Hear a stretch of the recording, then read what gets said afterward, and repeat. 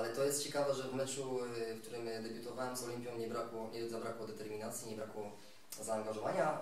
Y, Ja nie mówię, że brakuje, natomiast faktycznie troszeczkę to pozostawia do życzenia i mm, nie siedzę w głowie każdego z tych piłkarzy, tak? Y, Próbuję do nich docierać w różny sposób.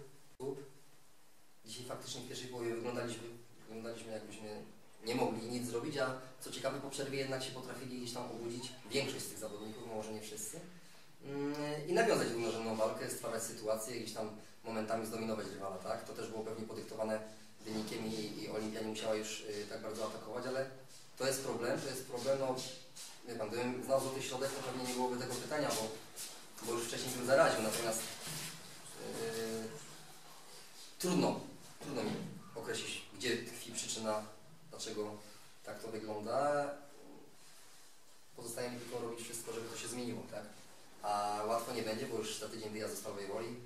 Potem mamy u siebie dopiero za dwa tygodnie z Garbarką, która też zdobywa punkty, więc myślę, że nie będzie łatwego przeciwnika już do końca tej rundy i w ogóle tej rundy każdy może wygrać z każdym, jest tak wyrównana ta liga, że, że z jednej strony to jest, y, to jest y, dziwne, z drugiej jest to szansą dla każdego zespołu, nawet tych teoretycznie słabszych, y, szansą na przyszłość, że można zdobyć punkty nawet z tymi, z tymi teoretycznie silniejszymi.